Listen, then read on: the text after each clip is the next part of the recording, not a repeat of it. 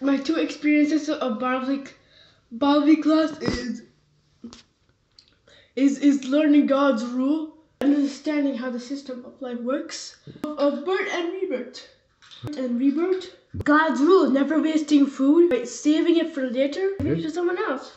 Yeah, Helping someone clean his room, helping making sure his things are organized. Working together as a team, going out for a walk, helping others, like whose whose work isn't like not kitchen isn't woman's work. Hmm.